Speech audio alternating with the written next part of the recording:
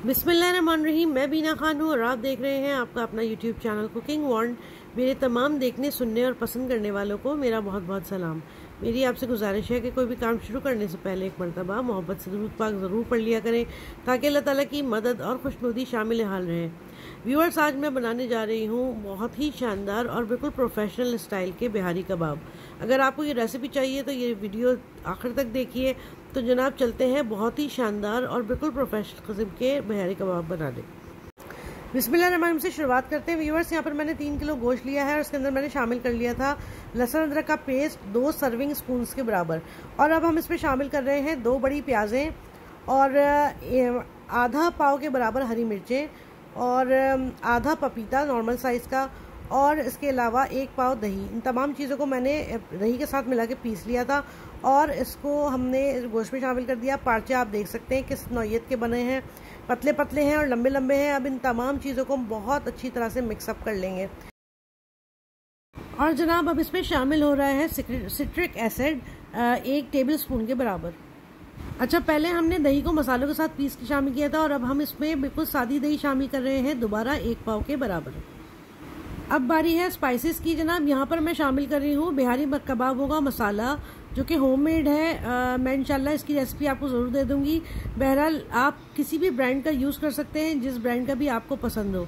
तो यहाँ पर हम दो पैकेट शामिल कर, ले, कर लेंगे अगर आप किसी ब्रांड का यूज़ कर रहे हैं और अगर आप घर का यूज़ कर रहे हैं तो इसमें मैंने शामिल किया है तकरीबन चार सर्विंग स्पून के बराबर मसाला। तो जनाब ये अच्छी तरह से हमने मसाला इसमें शामिल कर दिया है। अब हम इसमें एक अच्छा सा थोड़ा अच्छे बड़े साइज़ का लीमू शामिल कर रहे हैं, लीमू का जूस शामिल कर रहे हैं। तो इस तमाम मसाले को और लेमन जूस को हम अच्छी तरह से मसाले के साथ मिक्स करेंगे।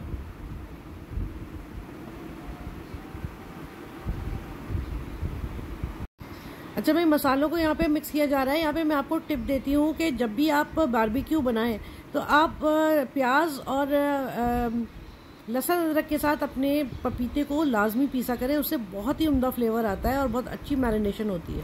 अच्छा देखें, यहाँ हमारे मसाले को रखे हुए तकरीबन दो से ढाई घंटे हो चुके थे। और अब इसके अंदर मैं शामिल कर रही हूँ तली हुई प्याज, जो कि ख़ास इन्ग्रीडियंट है बिहारी कबाबों का।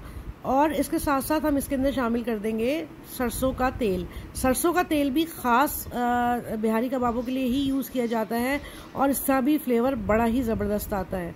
और यहाँ पर मैं आपको एक और टिप देती हूँ, और वो ये है कि जब भी आप कोई भी चीज़ मैरिनेट करें हो, चाहे वो चिकन हो, चाहे वो बीफ हो, चाहे वो कोई और गोश्त हो, उसके अंदर लाजमी है कि आप ऑयल सबसे आखिर में डालें। क्योंकि देखें, ऑयल जब आप डालेंगे तो उसकी मैरिनेशन अच्छी नहीं होगी। सबसे पहले हमने मसाले ऐड किए थे, इनको दो तीन घंटे हमने रखा है। उसके बाद फिर मैं यहाँ पर शामिल कर रही हूँ ऑयल और प्याज। तो जनाब, ये हमारे फाइनल इन्ग्रीडियंट थी, इसको हम इसको हम मज़ीद रखेंगे तीन से चार घंटे के लिए और जितना अच्छा इसको मैरिनेशन टाइम देंगे, ये उतना ही अच्छा रिस्पॉन्ड करेगा। तो जनाब, इसको हम अच्छा सा मिक्स करके रख रहे हैं। तकरीबन तीन घंटे हम इसको और रखेंगे और उसके बाद फिर हम स्टार्ट करेंगे अपनी बारबेक्यू पार्टी लीजिए भाई, तीन घंटे हमारे मुकम्मल हो चुके हैं और अब आप देख लीजिए कि हम इसको किस तरह से सीखों पर लगा रहे हैं। लंबे लंबे हमारे पार्चे थे, इसको हम जिगजैग करके पार्चों में पिरो रहे हैं। आप देख सकते हैं, आपके सामने इस वक्त सारा प्रोसीजर चल रहा है। बहुत अच्छा गोश्त इस वक्त गला हुआ है, बहुत ही उम्दा इसकी गलावट हुई हुई है और इसको हम जिगजैग तरीके से लगा रहे हैं। और लगाने के बाद इसको हम थोड़ा सा स्प्रेड करेंगे ताकि कॉम्पैक्ट हो जाए गोश्त और इसका जो है वो लुक बड़ा अच्छा सा आ जाए। तो मैं आपको दिखाती हूँ हम किस तरह से कर रहे हैं।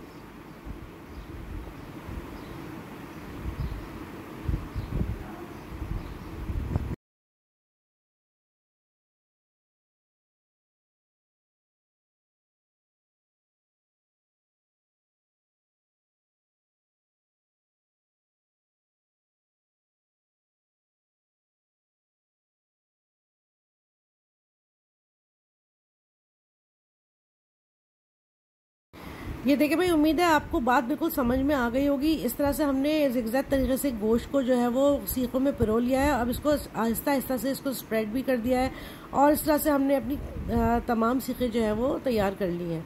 तो हम सारी सीखें तैयार करते हैं, उसके बाद इसका सिकाई दिखाते हैं। अच्छा भाई, देखें, कोयले जो है वो अच्छे से सुलगा लिए गए थे और जब कोयले बिल्कुल सुलग जाते हैं तो उनको स्प्रेड कर दिया जाता है और उनकी आँच आप अपने हिसाब से रखते हैं, बहुत तेज़ आँच नहीं होनी चाहिए। हल्की आँच पे जितना आप बारबेक्यू को सेकेंगे, वो अंदर तक उतना अच्छा सिकेगा और बहुत ही अच्छा फ्लेवर आएगा, बहुत ही क्रिस्पी और बहुत ही जूसी बनेगा। और अगर आप तेज़ आँच पे इनको कर देंगे तो वो ऊपर से जल जाएँगे, अंदर से कच्चे रह जाएँगे और उनकी जूसीनेस भी ख़त्म हो जाएगी। यहाँ पर हमने अपनी सीखे अंगीठी पर लगा दी हैं और हम इसको आहिस्ता आहिस्ता सेक रहे हैं। तो भाई मेरे प्यारे प्यारे व्यूअर्स आप देख सकते हैं कितने खूबसूरत और कितने कलरफुल से हमारे जो है वो कबाब इस वक्त तैयार हो रहे हैं। बहुत ही जूसी और बहुत ही गले हुए। आप शक्ल देख सकते हैं कितनी इसके अंदर जूसीनेस है और कितने अच्छे से ये फ्राई हो रहे हैं हल्की आँच पर। तो जनाब ये आहिस्ता आहिस्ता हम इनको फ्राई कर रहे हैं। इनका खासा यही होता है कि इनको जब आप हाथ में लेके तोड़ेंगे तो ये बिल्कुल मलाई की तरह आपके हाथों में स्प्रेड होने चाहिए।